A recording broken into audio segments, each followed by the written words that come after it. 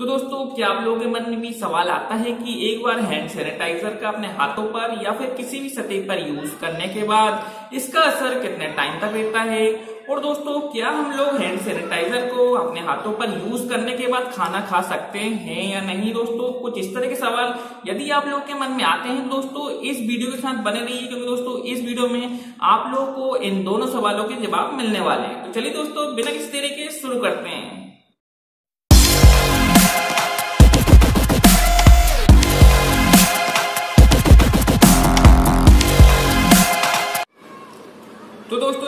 हम बात करते हैं कि हैंड सैनिटाइजर का एक बार अपने हाथों पर यूज़ करने के बाद इसका असर कितने टाइम तक रहता है? तो दोस्तों, इसका आंसर है तीन से चार मिनट जी हाँ दोस्तों, आप जब भी किसी एल्कोहल बेस्ड हैंड सैनिटाइजर को अपने हाथों पे सैनिटाइज करते हैं तो इसका जो असर होता है वो तीन से चार मिनट तक बरकरार रहता है।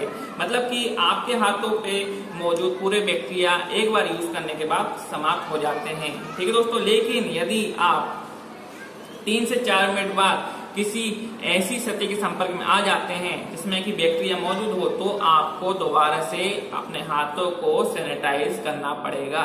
जी हाँ दोस्तों, क्योंकि किसी भी हैंड सैनिटाइजर में अल्कोहल मौजूद होता है और वो तीन से चार मिनट बाद अपने आप उड़ जाता है।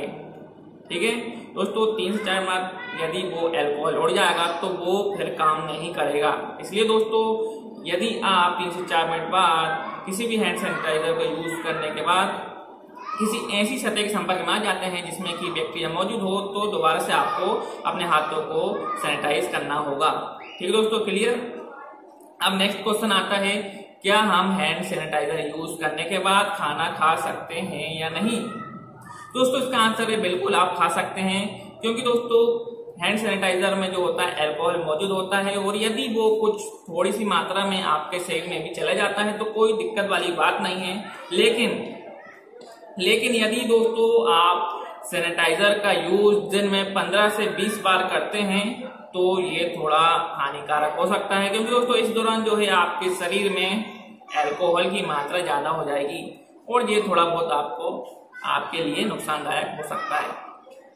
तो दोस्तों, इसका आंसर है, वैसे आप खा सकते हैं।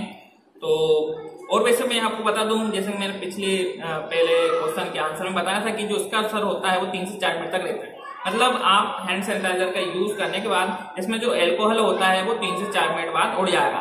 तो दोस्तों, आप मतलब एल्को किसी भी हैंड सैनिटाइजर का यूज़ करने के बाद पाँच मिनट बाद आप खाना खा सकते हैं। क्योंकि दोस्तों, जब तक जो है उसमें मौजूद एल्कोहल वो उड़ जाएगा। ठीक दोस्तों तो आई होप कि आपको जो आंसर है वो समझ में आ गए होंगे। और यदि समझ में आ गए तो प्लीज़ वीडियो को लाइक कीजिए शेयर कीजिए and don't forget to subscribe thank you